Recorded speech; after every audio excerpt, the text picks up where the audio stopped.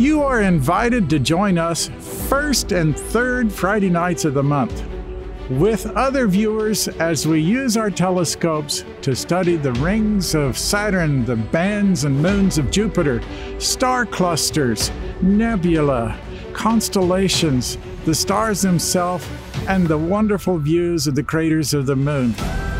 It is a way for us to study the Creator Himself as He created an infinite universe for us to enjoy. So we have some great software to run this telescope. So when our guests come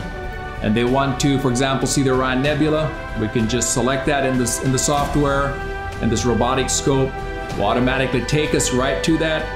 to the Orion Nebula, zero in on it,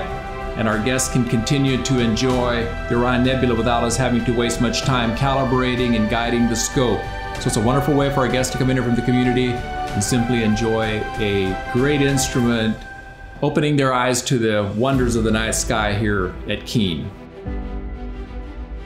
We would love to have your family, club, or class, from elementary to university, spend time with us to see the incredible sights that these telescopes are able to bring to your view at the Thomsen Observatory.